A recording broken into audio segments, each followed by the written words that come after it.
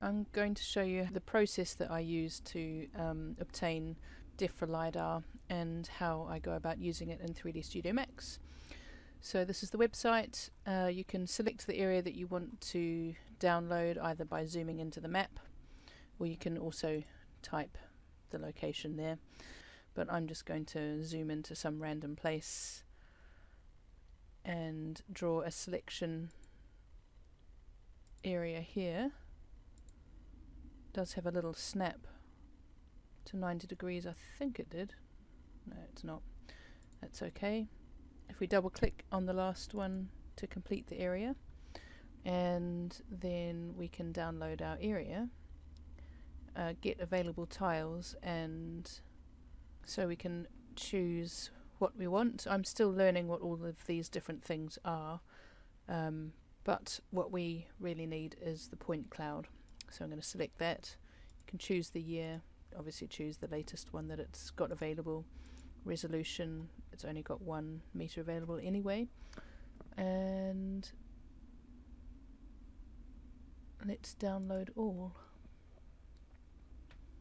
It's downloading and actually it's very handy that while it's downloading I'm on this next page this is Cloud Compare this is the um, the website for it and it's the open source software that I use to uh, convert the point cloud into a mesh that I can use in Max so you can download it for free from this website so if we have a look at this we can see we've got a .las file which is the the point cloud information that we need. So I'm just going to open up Cloud Compare.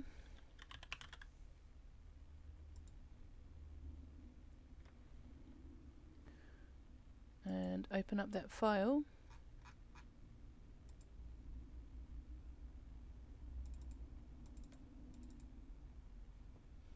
I'm just going to say apply all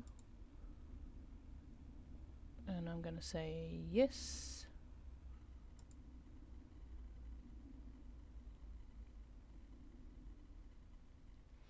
And here we have this tile. You right click to pan, middle click to zoom in and out, and left click to rotate.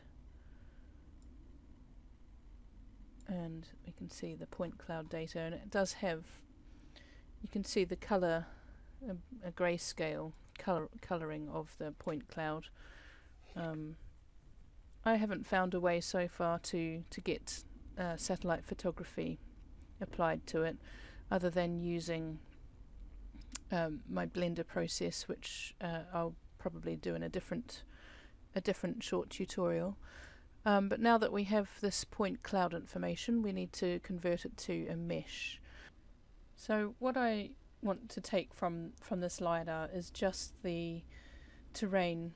I don't want any of the trees or the houses buildings or anything else. I just just want to have the terrain and then I can I add my own trees and my own buildings um, to it. So it might not be what you need, but this this is this is how you would go about just extracting the information that you want. Um, there's a classification. Uh, each each of those elements has been given a classification, and you can see here by the amount of points per per item uh, what where they sit within that classification. So all I want from this uh, this terrain is just the ground. So I need to select um, code number two. Um, so to do that, we go to this min-max area here, and we want to filter it by range. So we want to go from range 2 to 2. So we export that. And then you can see over here that's all we have in this newly exported point cloud. Can see from, I'll turn that off, you can still see that the old one is still complete. So it's just made a copy of those. So you can always go back and get other information if you want and, and make adjustments. Uh, now that we have that extraction, um, something else that could be handy to know about is this um, the scissor button, scissor, scissor button up here, you can select an area and basically cut it out. Gives you um, different tool set. You can just make a polygonal selection. I'll double click to close it I think. No, right click to close it. And then you can say you want to um, keep what's outside or keep what's inside of your selection. Uh, so that's just another thing to be aware of. If you only need a small amount of the mesh, you can do that as well. I'm not doing that for now. So now I want to create a, a surface from my from my point cloud. So I have it selected, and then I go up to Tools and no, not Tools. Edit, Edit Mesh, Delaunay. This is the top one I use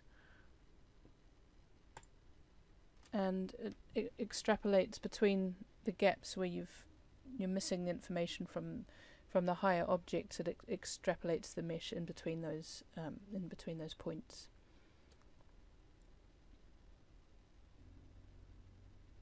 Okay, here's our saved our um, our new mesh terrain and once we have that we can now export that as an FBX so you have it selected and then you say file save no there's no export options it's just a save and then you have all these different versions of uh, different types of files you can save it as.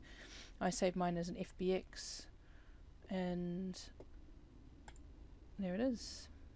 I'm going to take that into Max. Choose output I just use FBX binary. Okay, so we're back in Max now and I'm going to import that file. And here we can see some interesting things. So we've got the file axis direction is Y up and the system is Z up, so it's going to come flipped. Um, the other thing, the file units are centimeters, system units are meters. So we just need to make sure we're importing it um, with the correct scale. Um, just making sure that your scale factor is 1 and it will it will it will convert the file to the right size once if, if you choose. Choose your right um, choose your right scale options. You can see it changes the scale factor. So I've worked out for this file that I need centimeters, which makes it a scale factor of 1 because the file units are centimeters. Okay. So in the top viewport we can see that it's the wrong way around and so we'll flip it round 90 degrees and there we have it. Okay, just check the scale. I use a rectangle just to see if roughly it's the right sort of size. Uh, yep, about two kilometers. That looks about right. So we have our mesh and we can optimize it. It is quite heavy when it comes in. So depending on what what your needs are, um, I usually use Pro Optimize and optimize the mesh, crunch it down, get rid of a lot of those triangles. Um, so that's that's end of step one. Um, I will do a separate tutorial on how I use Blender to get some satellite photography and a mix of the Blender terrain and the, the LiDAR terrain sometimes with my projects. Hope that was helpful.